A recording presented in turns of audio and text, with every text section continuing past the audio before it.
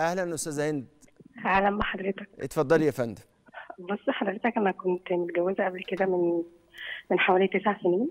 امم وبعدين انفصلت عن جوزي. امم وقعدت بقى لأن والدتي كانت تعبانة شوية فاللي هو قعدت معاها علشان خاطر إن هي تعبانة فما حبيتش إن أنا أتجوز فقعدت تسع سنين. طيب. فبعد كده جه حد يعني جوز أختي جاب لي عريس كده. في أولاد؟ أولاد الجواز الأولاني ده كان منه أولاد؟ لا. طيب اتفضلي.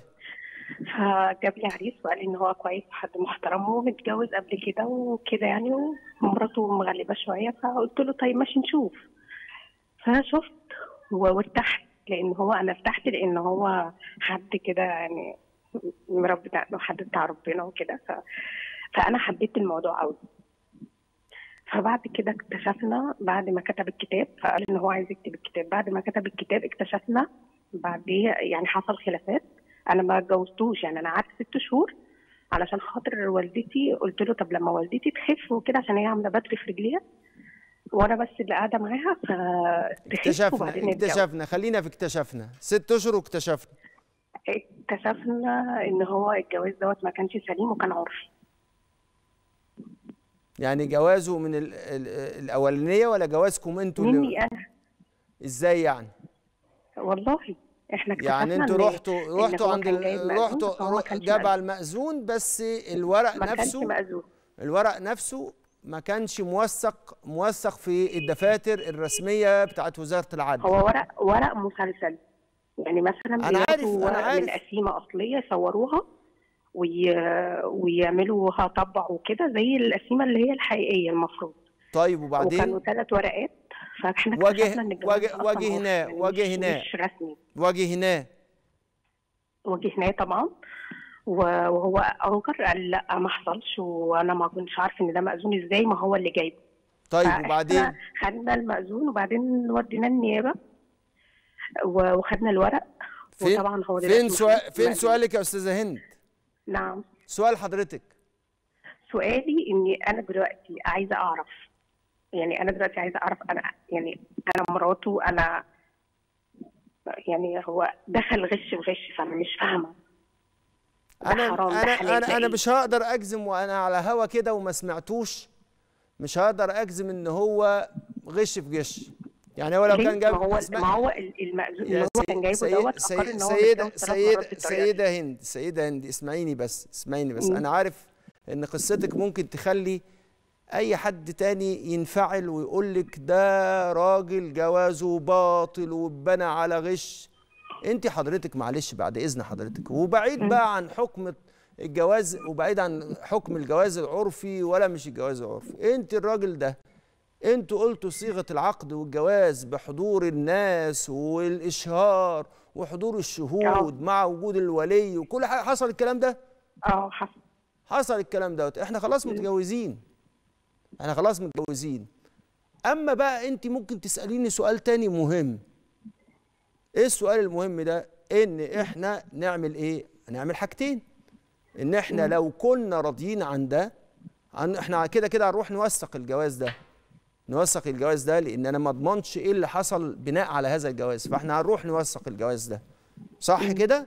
عشان كل اللي إحنا بنقوله دوت يكون حصل في اطار شرعي. خلاص؟ فأنت هتروح توثق الجواز. أول حاجة. الحاجة التانية بقى بعد ما توثقي الجواز ده تقعدي حضرتك بقى تقيمي علاقتك بالشخص ده. اللي أحد عناصرها هو كان فعلا بيغدر بيكي وبيخونك ولا لأ؟ يعني هو غدر بيكي لما هو قال لك إن الجواز ده جواز رسمي ولا هو فعلا مخدوع وانخدع زيك كده؟ وأنا ما أظنش في الحقيقة إن في حاجة لازم نفهمها. وأنا مش هقدر عشان زوج حضرتك زوج حضرتك مش هقدر عشان زوج حضرتك مش موجود معانا مش هقدر أقول لك إن هو كان بيخدعك ولا لأ. دي محتاجة شوية تحقيقات الحاجة التانية اللي أنت لازم تعمليها خلاص إحنا هنحط رقم من أرقام تقييم هل نستمر في الجواز ولا لأ؟ الحادثة دي. لكن في حاجة تانية خالص وهي اللي دعيتك إلى هذا الأمر. هو الشخص ده وهو بيتعامل معاكي هو دغري ولا مش دغري؟ بيلف ويدور ولا ما بيلفش وبيدور؟ هو انت لما اتجوزتيه عشان هو شكله ومظهره مظهر متدين هو بيتعامل معاكي بتدين؟ ولا انت حاسة بالتناقضات؟ أنا حاسس في كلامك وأنت بتكلميني إن انت حاسة بشوية تناقضات ما بين تدينه أو مظهر التدين بتاعه وما بين الايه ال- التدين ده. ده برضه هيكون عنصر مهم جدا جدا في التقييم. يبقى إحنا هنعمل إيه؟ الجواز ده محتاج يتوثق لأنه جواز وبعد كده إيه اللي هيحصل؟ بعد كده هنقيم. طب ليه بقول لك يتوثق؟ يتوثق أنا بقول يتوثق ده عشان تحفظي حقوقك. فالجواز ده يتوثق عشان تحفظي حقوقك لأن هو جواز. جواز وإحنا ما بنتكلمش دلوقتي عن حكم الجواز العرفي لكن بنتكلم على إن ده جواز. اللي أنت عرضتيه عليا ده ده جواز. نعمل إيه بقى؟ نوثقه. زي أي جواز بي... بي... الناس بتسميه عرف. نروح نقول له إيه؟ وثقوا الجواز ده عشان تحفظوا حقوقك. الحاجة الثانية قيم؟ الحاجة الثانية بقى قيمي بشكل صحيح. أنت بقى عايزة تستمري ولا مش عايزة تستمري؟ ليه بقى؟ لأن واضح جدا جدا جدا إن أنت حسيتي بالتناقض.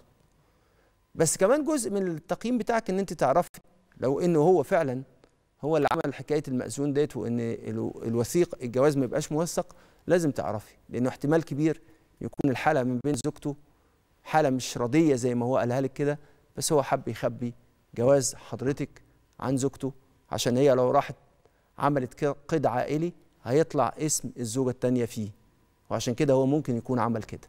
فإحنا عايزين نقيم الزواج بشكل صحيح عشان نعرف هنستمر فيها ولا لأ.